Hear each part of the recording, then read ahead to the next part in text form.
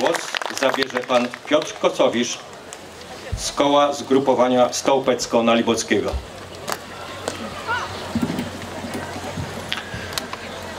Witam Państwa bardzo serdecznie. Szanowny Panie Wójcie, Szanowni Państwo, Szanowna Młodzieży. Pozwoliłem sobie poprosić o kilka tylko słów, bardzo króciutkie wystąpienie. 78. rocznica boju pod Jaktorowem, czyli w Budach Zosinych. Mówimy tutaj o powiązaniu z Powstaniem Warszawskim. Mówimy o tych partyzantach, którzy tu walczyli. Mówimy o powstańcach. Chciałbym jedną rzecz, abyśmy szczególnie nie zapomnieli, abyśmy to utrwalili i zawsze przekazywali dalej.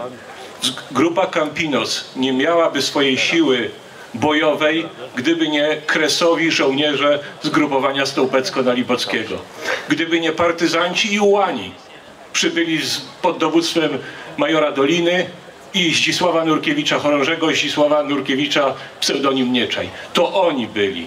To kresowi żołnierze tworzyli trzon tej grupy. To oni tu leżą. Pamiętajmy o tym. Obecny tu dzisiaj i wymieniony, i powitany pan major Waldemar Sielicki. Jeden również, można powiedzieć, ostatni prawie z tych żołnierzy, partyzantów pochodzi z Rakowa.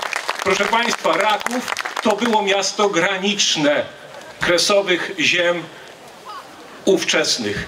Ziemie kresowe tworzy, stanowiły ponad połowę ziem polskich ówczesnych. Nie zapominajmy o tym. Nie zapominajmy o Stołpcach, Nalibokach, Gierewnie, y, Rakowie i wielu, wielu innych miejscowości, które dzisiaj niestety leżą na terenach Białorusi. Ale musimy o tym pamiętać. To kresowy żołnierz dokańczał tutaj powstanie warszawskie pod Jaktorowem. I bardzo proszę, żeby to utrwalać. To jest bardzo ważne. Żołnierze kresowi stanowili trzon grupy Campinos. Dziękuję uprzejmie. Dziękujemy panu Piotrowi.